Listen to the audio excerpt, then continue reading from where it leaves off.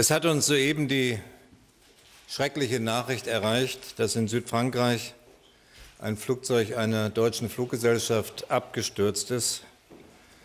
Wir haben sofort einen Krisenstab eingerichtet, der Einzelheiten zu dieser Katastrophe jetzt in Erfahrung zu bringen versucht. Eine Krisenhotline unter der Nummer 030 5000 3000 ist eingerichtet.